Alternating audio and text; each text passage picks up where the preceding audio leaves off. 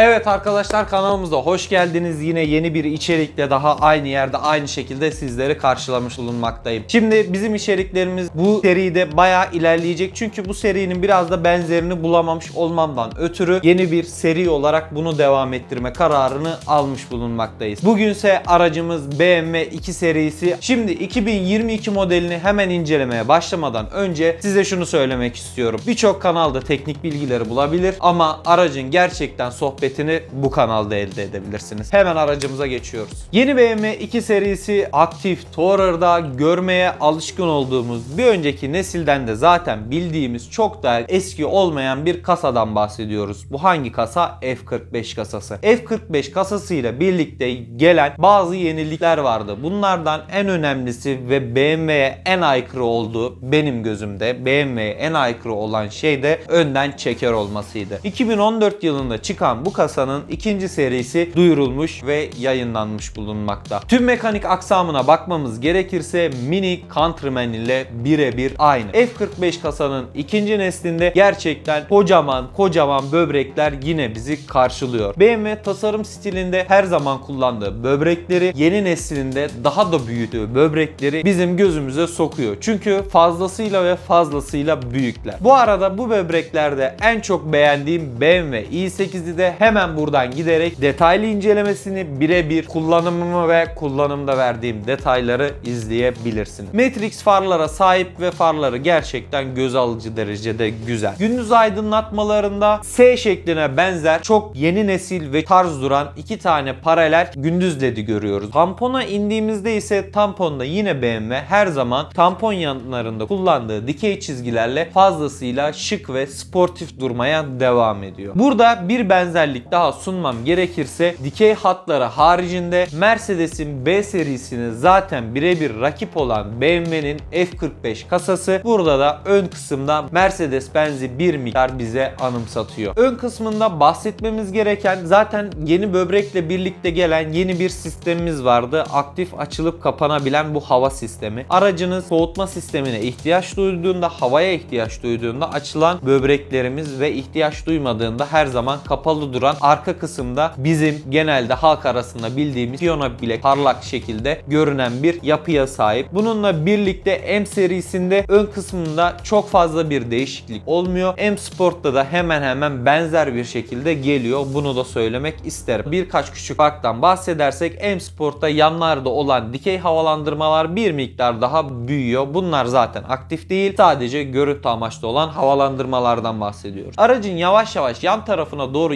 ilerlerken direkt şu gözüme çarpıyor. Tamamen Mercedes'in B serisinde gördüğümüz ve buna genelde hatchback arabalarda görmeye alışkın olduğumuz dikey çizgileri bunda da görüyoruz. Ama bir önceki kasasına bakarsak ilk neslinde daha net bir çizgi yakalarken bunda birazcık daha çizgileri radüslere vererek daha da sportif ve birazcık daha kaybolan çizgiler yakalanmaya çalışılmış. Ama her zaman için bu kasalarda değişmeyen arkaya doğru dikey açıyla ilerleyen dik çizgileri yine aynı şekilde üstte ve altta bulabiliyoruz. Dikiz aynasının kapının alt kısmından çıkıyor olması, cam kısmını bölmüyor olması ekstra hoşuma gitti. Çünkü ciddi bir görüş açısında fark yaratıyor bu şekilde olması. Özellikle böyle dikeyde tasarlanan araçlar için. Hemen jantlarımızdan bahsetmek istiyorum. 16 ve 17 inci net bir şekilde bas paketlerde de görebiliyoruz. M Sport'un direkt 17 inçle geliyor ve bununla da kalmıyor. BMW jant konusunda çok ileri giden bir firma olduğu için 19 inçe kadar da size opsiyonel olarak jant seçimi sunabiliyor. Aracın birazcık daha arkasına doğru ilerlememiz gerekirse şimdi eski neslinden önce bir bahsetmek istiyorum. Eski nesil aslında benim burada daha çok hoşuma gidiyordu. Neden daha çok hoşuma gidiyordu? Eski neslin arkadan baktığımızda BMW'lerin SUV kasalarında görmeye alışkın olduğumuz stoplar, görmeye alışkın olduğumuz amblem ve amblemin üst kısmında ince ve dışarı çıkık bir dik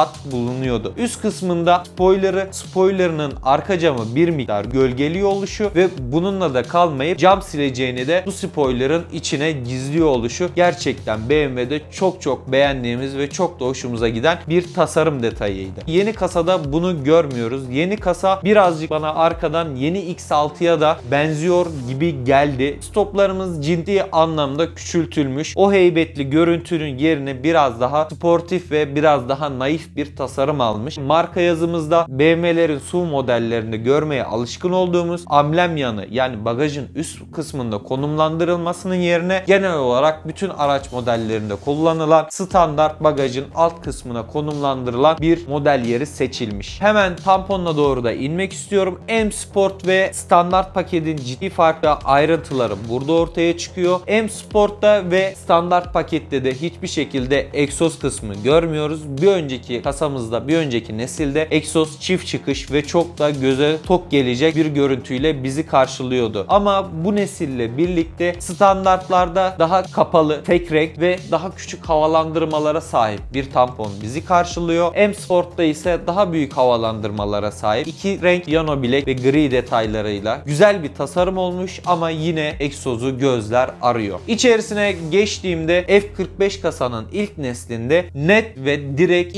X5'in içini görüyorduk. Yani X5'e bindiğimde görebileceğim iç tasarım hatları tamamen bunda da yer alıyordu. Ama bunda iş o kadar değişmiş ki yani bir nesilde o kadar atlamış ki direkt gözüme çarptığında benzettiğim Mercedes'in B serisinde gördüğümüz boydan boya ortaya kadar gelen gösterge paneli onunla birlikte bayağı da Mercedes'in içerisine benzettim kendi fikrim olarak bunu söyleyeyim. Yine güzel bir hayalet ekran bizi karşılıyor. Yine modlar, yine 3 boyutlu görünüş, yine otonom sürüş. 10,25 inçlik kocaman bir ekrandan bahsediyoruz gösterge panelinde. Yan tarafta da gerçekten birleşik değil arada bir ayrılık var ama kapalı olduğunda birleşik gibi görünen ve tek banttan gelen ikinci ekranımız multimedya ekranımız 10.7 inçle baya baya gözü doldurmaya yetiyor ve yine 3 boyutlu özelliğine sahip yine CarPlay'imiz, Android Auto'muz her şeyle dolu dolu bir multimedya sistemi bizi karşılıyor ve BMW'lerin yeni modellerin yeni model araçlarda artık gözümüze alışmaya başlayan araç içi ambiyans aydınlatmada çok güzel ve renk renk seçenekleriyle aracımızda mevcut arkadaşlar. Tabii ki kablosuz şarj sistemi vesaire bunlar artık söylememize gerek olmayan şeyler. Artık yeni araçların hepsinde görmeye alıştığımız el freni tuştan, şarjımız kablosuzdan modeliyle devam ediyoruz. Bu araçta görmeye alışkın olmadığımız yeni bir şey var. Orta konsolda çift katman geliyor. Ortada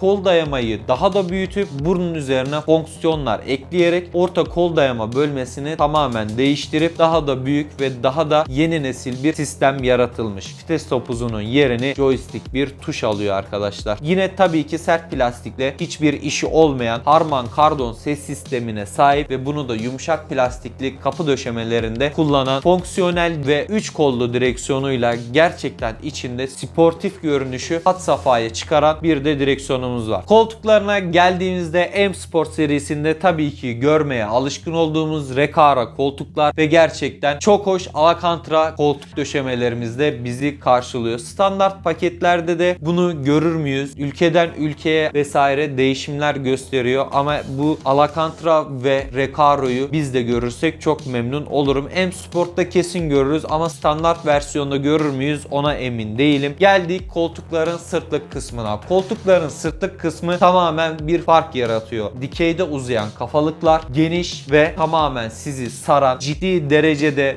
bel ve yanal desteklere sahip ön koltuklarımız renk seçenekleriyle bizi karşılıyor. Arka koltuklarda daha düz ve benim oturma pozisyonu olarak en çok beğendiğim biraz daha yatay ve açısal bir oturma pozisyonuyla bizi karşılıyor. Bagaj ayrı değil onu hemen de söyleyeyim. Bagaj kabine birleşik arkadaşlar. Gerçekten çok büyük bir litre hacmi yaratabiliyoruz kabinle birleşik bagajlarda. 470 litre gerçekten güzel bir litre hacmi ve koltuklarını eğer yatırırsak kabinle birleşik bagajımız olduğu için 1455 litreye kadar da arttırabiliyoruz. Yeni BMW 2 kasasını inceledik. F45'in ikinci nesliyle 2021'in sonu ve 2022 ile birlikte karşımızda olacak. Yine yeni modelleri izlemek için kanalımıza devam edip kanalımızdan yeni araçlara bakabilirsiniz. İzlediğiniz için teşekkür ediyorum. Kendinize dikkat edin.